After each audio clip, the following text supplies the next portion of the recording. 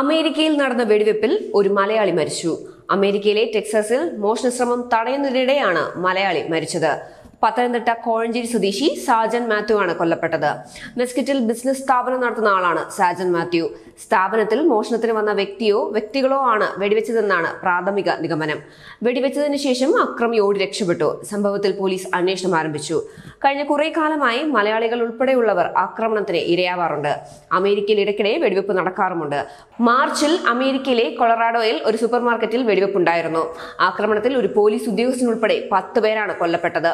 നിരവധി പേർക്ക് പരിക്കേൽക്കുകയും ചെയ്തിരുന്നു. പിന്നീട് ഏപ്രിൽ മാസത്തിൽ അമേരിക്കയിലെ ടെക്സാസ് നഗരത്തിലുണ്ടായ വെടിവെപ്പിൽ മൂന്ന് പേർ കൊല്ലപ്പെട്ടിരുന്നു. അനധികൃത തോക്ക് കൈവശം വെക്കുന്നതിൽ ഏറ്റവും കൂടുതൽ ആളുകളുള്ള രാജ്യം അമേരിക്കയാണ്. ടെക്സാസിൽ സാജൻ മാത്യു മരിച്ചതിന്റെ വിശദാംശങ്ങൾ അടങ്ങിയ വാർത്ത വിദേശ ചാനലായ C B S D F W report ചെയ്തതിന്റെ ലിങ്ക് ചുവടെ ചേർക്കുന്നു. News desk news day Malayalam.